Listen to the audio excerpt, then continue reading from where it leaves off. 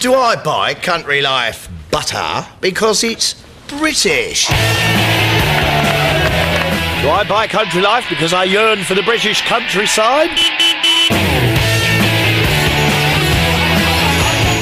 Or because it's made only from British milk? Nah, I buy Country Life because I think it tastes the best. It's not about Great Britain, it's about Great Butter.